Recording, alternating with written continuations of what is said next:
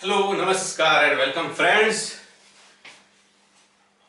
A new lecture and on demand of so many students, we are going to cover the topic of tie in case of transportation problem where we are solving or rather we are getting the initial solution by least cost method. Least cost method में अगर दो या ज़्यादा least cost के बीच tie हो जाए। That means दो या ज़्यादा सेल्स सेम लीस्ट कॉस्ट के साथ है तो जो टाई बनती है, वो टाई कैसे सोल्व की जाए?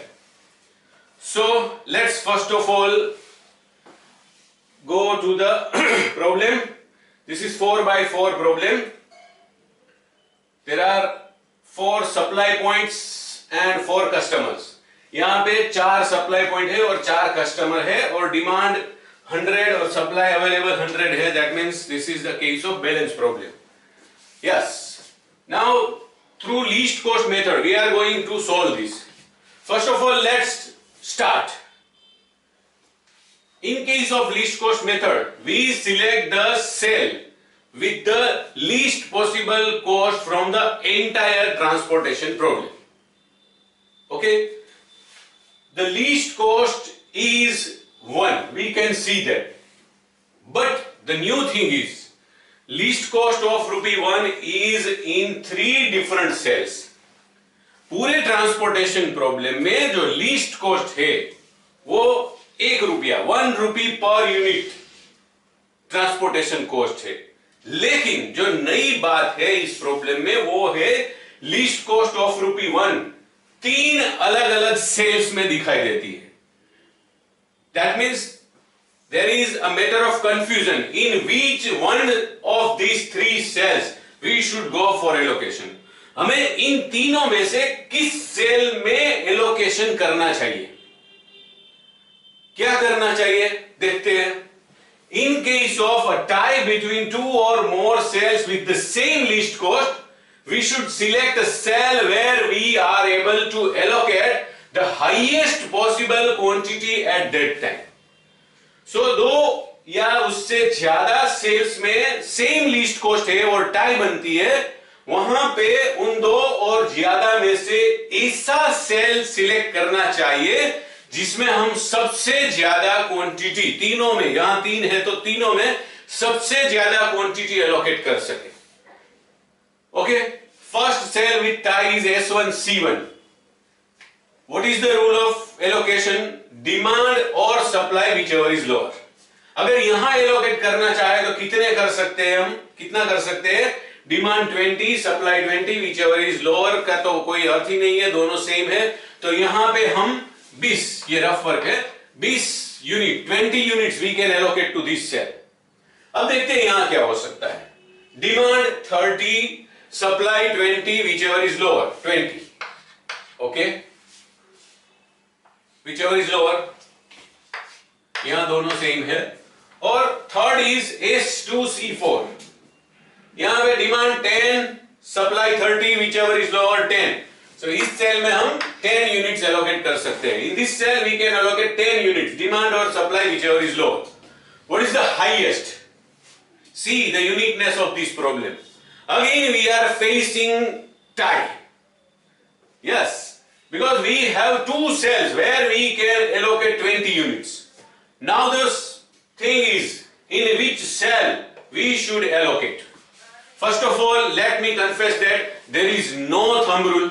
No, there is no thumb rule. कोई ऐसा कोई रूल है ही नहीं बना ही नहीं सकते लेकिन अनुभव के आधार पर मैं आपको सजेशन दे सकता हूँ कि ऐसे में क्या करने से ज़्यादातर केसेस में हमें बेनिफिट मिलता है? बेनिफिट किस प्रकार का? अगर इनिशियल सॉल्यूशन है, वो ऑप्टिमल ना हो तो भी ऑप्टिमल से ज़्यादा से ज़्यादा नज़दीक का आ जाए तो जो इनिशियल से ऑप्टिमल की हमारी जो जर्नी है, वो जितनी हो सके, उतनी कम रहे, जो ट्रायल्स है, इसके लिए क्या करना चाहिए ओके तो अनुभव के आधार पर मैं ये कह सकता हूँ if there is also a tie between two or more cells where we can allocate the same quantity following the above first rule. Yes, यहाँ पे हम सेम क्वांटिटी एलोकेट कर सकते हैं, दोनों लीस्ट कॉस्ट सेम है। तो क्या करना चाहिए? Number one there is no thumb rule for selecting a cell but on the basis of the experiences it has been observe that it is advantageous फ़ायदा हो सकता है to select the cell where the corresponding demand and supply are equal तो देखते इसमें 20 कैसे आया 20 demand 20 supply that means 100% demand is satisfied 100% supply is exhausted इस केस में क्या हो रहा है demand is 30 supply is 20 whichever is lower के बेसिस पर हमने यहाँ 20 लिया है। तो सप्लाई तो 100 परसेंट एग्जॉस्ट हो जाती है डिमांड 100 परसेंट सेटिस्फाई नहीं हो रही है। तो हम वेटेज किसको देंगे? जहाँ पे डिमांड और सप्लाई दोनों 100 percent satisfy as well as exhaust हो जाता है। डिमांड सेटिस्फाई हो जाती है सप्लाई एग्जॉस्ट हो जाता है। तो हम ऐसे सेल को ज़्यादा तवज्जो देंगे ज़्यादा वेटेज देंगे so in case of tie between two cells after breaking the tie on the basis of the allocation possible if the tie is now based on the quantity to be allocated then we should go for selecting a cell where demand and supply are equal this cannot happen every time याद रखिए ये हर एक बार होना ज़रूरी नहीं है possible भी नहीं है ज़्यादातर केसेस में ऐसा हो सकता है डिमांड सप्लाई अलग अलग है और हमने विच एवर इज़ लोअर के आधार पे क्वांटिटी सिलेक्ट की है और टाई हो रही है। तो क्या करना है? भगवान का नाम ले लीजिए और आपके मन में जो अच्छा लगे वो सेल सिलेक्ट कर दीजिए। क्योंकि इससे ज़्यादा सोचने से या ऑन पेपर कोई से कैलकुलेशन करने के बाद अगर सेल सिलेक्ट करने जाएँगे तो स्टिप्युलेटेड पीरियड में आप प्रॉब्लम सोल्व नहीं कर सकेंगे। इसीलिए कहीं पे अटकना ज़रूरी है। और कोई भी चीज़ ज्ञान तब बनती है जब उसे कैसे यूज़ करना है वो पता चले। तो ज्ञान का एक मतलब यह भी है कि कहाँ से शुरू करना है और कहाँ अटकना है। वो भी हमें पता होना चाहिए, तभी हमारे पास जो जानकारी है वो ज्ञान में बदल सकती है। ओके। तो हमने एक हमारे लिए, अनुभव के आधार पर ऐसा सजेशन ले लिया कि जहाँ पे डिमांड और सप्लाई इक्वल होने के बाद क्वांटिटी सिलेक्ट हो रही है और पार्ट ऑफ़ टाई बनती है, वहाँ वो सेल सिलेक्ट कर दीजिए। अगर ऐसा नहीं है, दो या तीन जगह पे टाई है और हर एक जगह पे हमने डिमांड और supply whichever is lower के बेसिस पे क्वांटिटी ली है और टाई बनती है तो तो ऐसा कोई रूल वर्क नहीं करता है। लेकिन अगर सोचने पर ट्रायल एंड एरर मेथड से जाए तो पता चल सकता है कि डिमांड के ज़्यादा परसेंटेज सेटिस्फाई हो जाए, वो सेल सिलेक्ट करना चाहिए, या ज़्यादा परसेंटेज ऑफ़ सप्लाई एग्जॉस्ट हो जाए, वो करना चाहिए। लेकिन मैंने कहा ना कि हर एक बार अगर हम ऑन पेपर करने जाएँगे तो कम से कम एग्जामिनेशन में हम दिए गए वक्त में सॉल्यूशन पूरा नहीं कर पाएँगे। इसीलिए मैं ना बोल रहा हूँ कि इतना ज़्यादा सोचने की ज़रूरत नहीं है हर बार। इससे ज़्यादा तो अच्छा है कि एक इनिशियल सॉल्यूशन लेके जो हमारे पास टाइम है, वो ही टाइम इनिशियल में से ऑप्टिमल जाने के लिए यूज़ करें। अगर इतना सब करने के बाद भी जो इनिशियल सॉल्यूशन मिलता है, वो ऑप्टिमल नहीं है तो इसका कोई ज़्यादा मतलब नहीं रह जाता ठीक है? ओके तो यहाँ पे डिमांड और सप्लाई दोनों 100 परसेंट सेटिस्फाई हो रहा है, इसीलिए हम S1C1 S1C3 दोनों में से S1C1 सिलेक्ट करने जा रहे हैं और 20 यूनिट्स का एलोकेशन बनता है यहाँ पे। डिमांड और सप्लाई दोनों एग्जॉस्ट हो रहे हैं, इसीलिए हमें रो और कॉलम दोनों करना है। कैंसिल करना है रादर अब बाकी बचे कॉलम्स और रो में से, क्या होगा? वही बात है लिस्ट को सिलेक्ट करते हैं तो इन नौ में से the least cost is one rupee now there is only one cell with the least cost so there is no question of tie यहाँ पे हमें मालूम है demand ten supply thirty whichever is lower we can allocate ten units demand satisfied लेकिन supply अभी भी बीस का बाकी है। ये कॉलम हमें कैंसिल करना पड़ेगा क्योंकि demand has been totally only satisfied Now, two columns and three rows. The least cost can easily be seen as 2 rupees per unit. Now, there is again a tie between these two. I'm sorry, यहाँ पे ये 40 था सो ये 30 होगा यहां पे क्या है अगर यहाँ एलोकेशन करे तो demand 30 supply 30 whichever is lower का तो सवाल ही नहीं आता we can allocate 30 units if we select this cell यहाँ पे अगर एलोकेशन करना चाहे तो कितना होगा? Demand 40 supply 20 whichever is lower 20 यहाँ 20 यूनिट्स एलोकेट हो सकते हैं, यहाँ 30 यूनिट्स एलोकेट हो सकते हैं. इस रूल के हिसाब से अगर जाए तो we should select the cell where we can allocate the higher quantity 30 or 20 so, we are going to select the cell where we can allocate 30 units. जहाँ पे ज़्यादा क्वांटिटी allocate कर सकते हैं, ऐसा सेल सेम लिस्ट कॉस्ट वाली time में select करना है। 30 की डिमांड सेटिस्फाइड 30 का सप्लाई सेटिस्फाइड ओके और एक बात देख लीजिए, यहाँ पे भी डिमांड और सप्लाई इक्वल है। अगर यहाँ पे भी 30 हो सकता था, फिर भी हम यहाँ पे एलोकेट करना पसंद करते इस अनुभव के हिसाब से जो हमने रूल डिराइव किया है, उसके हिसाब से। Okay so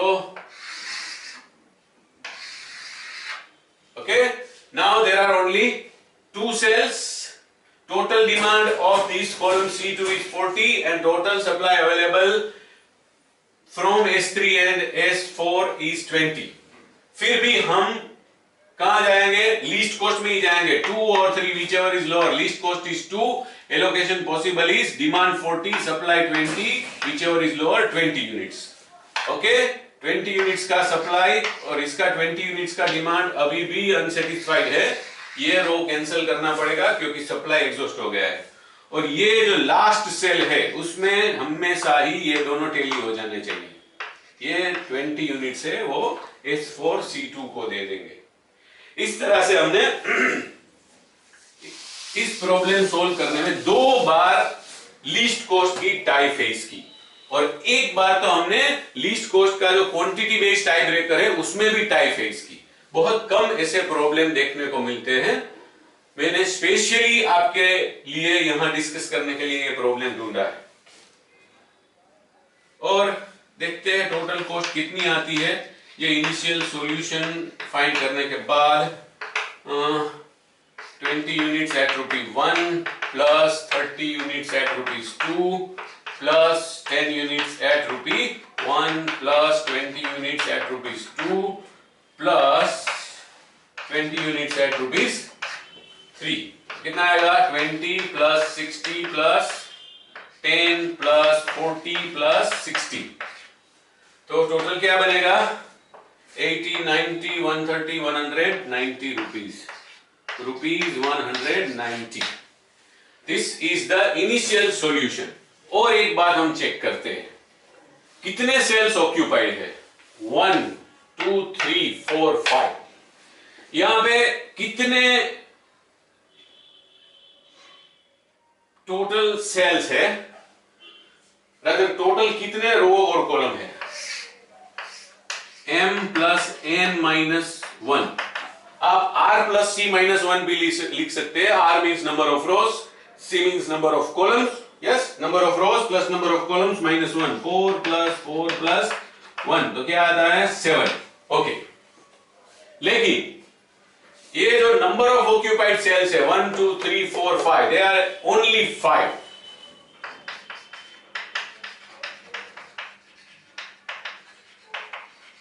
जो number of occupied cells five है that is less than seven जो कि रिम रूल कहा जाता है, उसके हिसाब से रिम कंडीशन के हिसाब से सेवन होने चाहिए, लेकिन सिर्फ़ फाइव है। तो इससे टेक्निकली बोलते हैं degenerate solution this is a degenerate solution और अगर ये इनिशियल सॉल्यूशन डीजेनरेट है, इसे ऐसे ही फॉर्मेट में रखा जाए तो हम इसकी ऑप्टिमालिटी चेक नहीं कर सकते और ऑप्टिमालिटी चेक नहीं कर सकते तो उसके हिसाब से जो स्टेप्स है वो लेके हम ऑप्टिमल सॉल्यूशन फाइंड नहीं कर सकते। इसलिए इसे पहले नॉन डी जनरेट में कन्वर्ट करना पड़ता है। वो ऑलरेडी मैंने अंग्रेज़ी में डिस्कस किया ही है पहले। डी जनरेट प्रॉब्लम के सॉल्यूशन के लिए जो कुछ भी मैंने लेक्चर्स रखे हैं वो वो आप अंग्रेज़ी में देख सकते हैं हिंदी में हम बाद में फिर से डिस्कस करेंगे नया प्रॉब्लम लेके। सो so, इसे कहेंगे डी जेनरेट सोल्यूशन जहाँ पे number of occupied cells M plus N minus one से कम रहते हैं उसे डी जनरेट सोल्यूशन कहते हैं। Thank you very much